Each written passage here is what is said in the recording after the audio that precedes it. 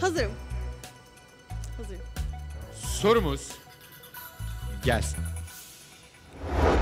Türkiye'de gölün ortasında insanların yaşadığı tek yerleşim yeri olan Mada Adası hangi gölümüzdedir?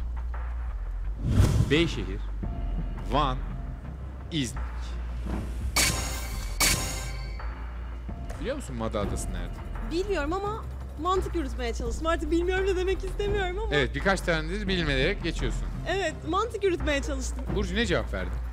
Dedim ki Van Gölü çünkü Ha. en büyük göl. İlla ortasında bir şey vardır, falan mı dedin? Demese miydim? Bilemem ki ben nereden bilebilirim? Ben soruları sormakla mükellef bir insanım. Soruların cevapları Muhsin Bey'de ve yarışmacılarımızda. Bakalım yani lütfen. Eğer Türkiye'de gölün ortasında insanların yaşadığı tek yerleşim yeri olan Mada Adası Van Gölü'nün ortasındaysa Çok sevineceğim. 45 bin lira kasaya gidecek. Ama değilse ve Muhsin Bey bunun cevabını veriyorsa bir soru daha göreceğiz ama artık elenme Artık riskiyle Artık elim ayağım baş başa titreyerek. Hazır mısın? Hazırım. Doğru cevap gelsin.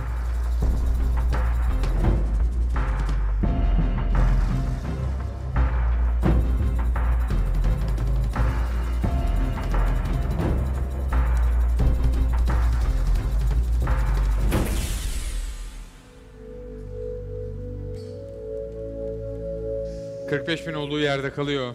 Muhsin Bey'in cevabını görelim.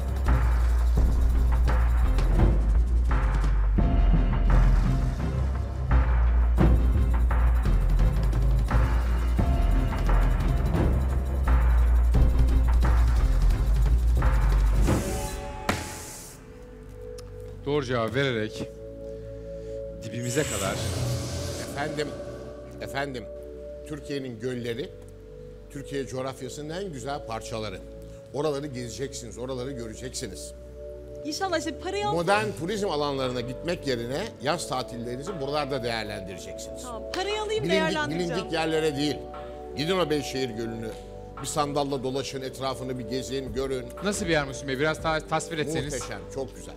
Çok güzel. Doğası olan, antik çağdan hemen her köşesinde bir takım eserlerin olduğu çok güzel bir Gölün göl. ortasında bir adacık mı var? Evet, adacık var. Onun üzerinde de Evet, insanlar yaşıyor. insanlar var. Kaçtır nüfus?